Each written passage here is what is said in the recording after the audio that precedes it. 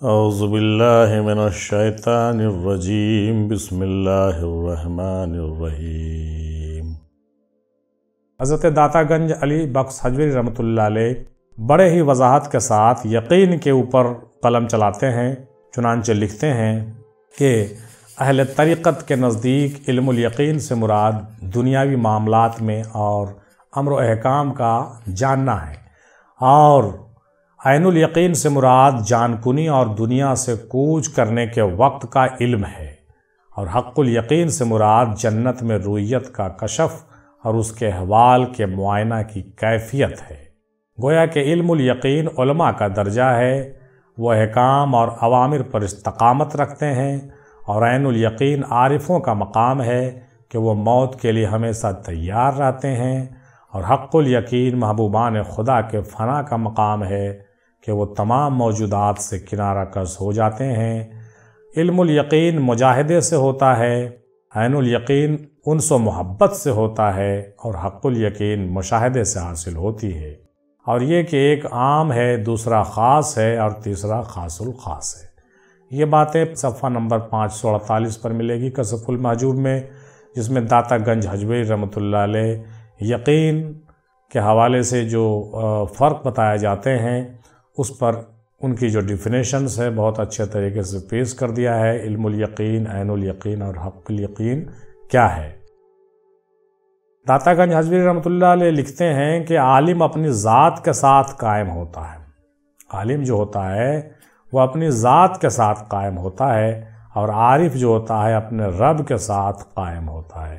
ये सफ़ा नंबर पाँच सौ उनचास पर दर्ज है कि आलिम और आरिफ में बड़ा फ़र्क होता है चुनानचे हम जो मजलिसें करते हैं, वो आलिमाना मजलिसें नहीं करते हैं, क्योंकि हम आरिफ बिल्ला सरकार में हिंदी शाह अफजल अलैह के बैनर तले इस ज़िक्र को और इस मजलिस को करते हैं, तमाम अलिया अल्लाह के कुतुब और उनके अकवाल के हवाले से। चुनानचे ये बातें आरिफों की हो रही है और आरिफों की बात को समझने के लिए आरिफ की मजलिस में भी बैठना पड़ता है और आरिफ और आलिम में क्या फ़र्क है ये दातागंज हजवेरी रहमतुल्लाह बहुत ख़ास तौर से समझा रहे हैं कि आलिम अपनी ज़ात से कायम होता है, जबकि आरिफ रब के ज़ात के साथ होता है, रब के साथ होता है। यानी आलिम का जो वजूद होता है, उसकी अपनी खुदी होती है, लेकिन आरिफ का जो वजूद होता है, उसकी खुदी खुदा से वासिल होती है। यकीनन समझ में आ रही है सारी बातें? नबी करीम सल्लल्लाहु अलैहि वसल्लम का एक हदीस देखिए, ये सफ़ा नंबर 555 पर कसफ़ुल माजूब में दर्ज है। इस हदीस को देखा जाए, इस हदीस को नकल करने का क्या मकसद है ये आप खुद समझ सकते हैं। मैंने जो बयान किया है, हम ग्रोह अम्बिया तमाम लोगों के नस्बत आजमाइश में ज़्यादा मुबतला होते हैं।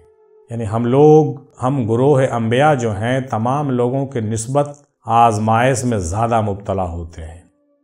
मज़ीद फरमाया कि सबसे ज़्यादा मुसीबत में अम्बिया होते हैं, फिर अलिया होते हैं, फिर वो लोग होते हैं जो ज़्यादा बुज़ुर्ग होते हैं, फिर जो उनकी तरह बुज़ुर्ग होते हैं। ये हदीस कोट किया गया पाँच सौ पचपन सफ़ा पर कसफुल महजूब में। जो जुर्म से तौबा करता है, उसे तायब कहते हैं और जो गैरों से अलग होकर खुदा की तरफ़ लौटे, उसे अनाबत कहते हैं। और जो अपने वजूद से बेनियाज होकर राज़ी बारज़ा हो जाए, उसे अवाब कहते हैं। ये सफ़ा पाँच सौ अंठावन पर दर्ज है, यानी जो जुर्म से तौबा करे वो तायब और जो गैरों से अलग हो जाए, उसको अनाबत कहेंगे और जो राज़ी बरज़ा हो जाए, वो अवाब उसको हम कहते हैं। यानी तायब, अनाबत और अवाब, ये तीनों में फ़र्क होता है। रसूल मकबूल सल्लल्लाहु अलैहि वसल्लम का इरशाद ग्रामी है कि मैं दूसरों से कुरान सुनना पसंद करता हूँ।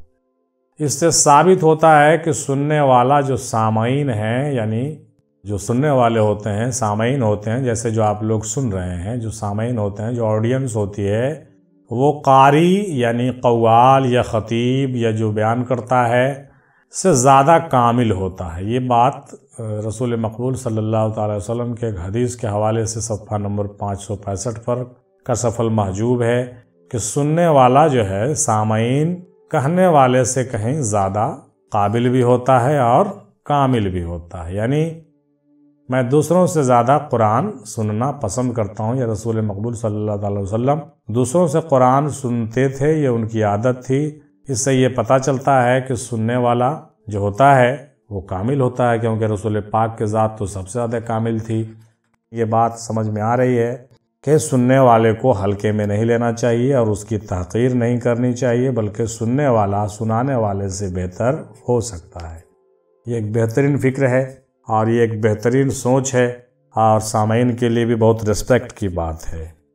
चुनानचे यकीनन दूसरे मौके पर जो भी हो, लेकिन फ़िलहाल जो सुना रहा है, यानी हम, मैं और जो सुन रहा है, इसमें तो फ़र्क समझ में आ जाना चाहिए कि सुनाने वाला जो है, वो यकीनन नाकिस है और सुनने वाला जो है, यकीनन यकीनन कामिल है।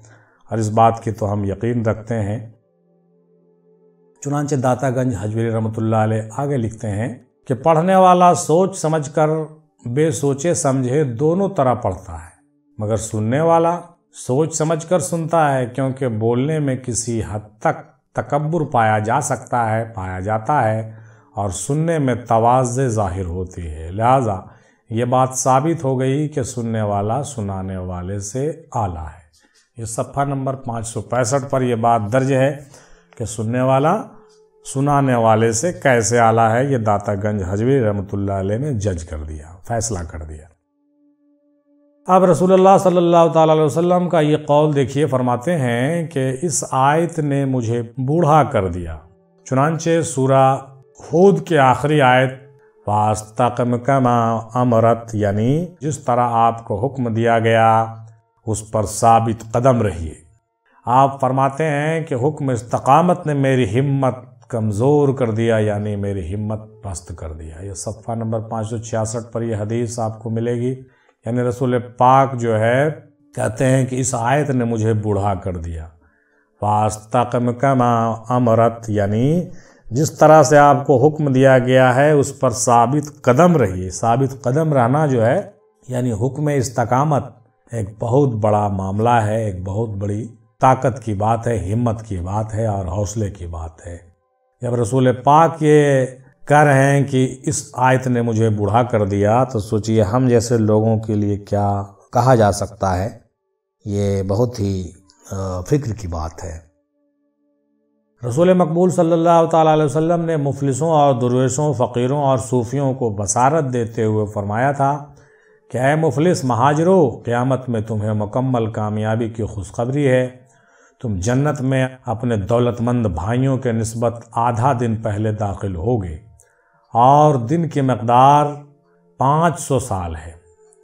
यानी आधा दिन पहले जो है मुफलिसों के बारे में ये बशारत है कि वो जन्नत में दाखिल किए जाएँगे, क्योंकि वो मुफलिस हैं, नादार हैं, दुर्वेश हैं, फ़कीर हैं और सूफिया हैं। इन लोगों को रसूल पाक ने बसारत दिया कि वो पहले जन्नत में दाखिल होंगे। बाद में और जो अमीर कबीर लोग होंगे, उनका हिसाब किया जाएगा। दूसरी रवायत यह है कि फ़कीर और बीमार लोग जन्नत में मालदारों के नस्बत 500 साल पहले जन्नत में जाएँगे। मतलब फ़कीर, बीमार लोग जन्नत में पहले जाएँगे, इसकी तस्दीक बाज़ हदीसों में होती है। और दूसरी बात यह है कि ये हदीसें जब दातागंज हजवेरी जैसे लोग रहमतुल्लाह रिजवान बयान करते हैं तो इन हदीसों में कोई जो है शुभा की गुंजाइश नहीं रहती है, इस पर यकीन करना ही करना है, और इसको हम जुटला नहीं सकते हैं। इन हदीसों से ये भी सा बात साबित होती है कि जन्नत में जाने का जो मामला है बिल्कुल हक है, और फ़कीर, दुर्वेश लोग जन्नत में पहले जाएँगे। और आशिकों के बारे में बाज़ जगहों में ज़िक्र आया है कि वो वो जन्नत में जाना नहीं चाहेंगे, लेकिन उनको जो है नूर की जंजीर में जकड़ कर ज़बरदस्ती जन्नत में ढकेला जाएगा, पहुँचाया जाएगा। तो ये बातें जो है, हक हैं, इन तमाम चीज़ों पर यकीन रखना चाहिए।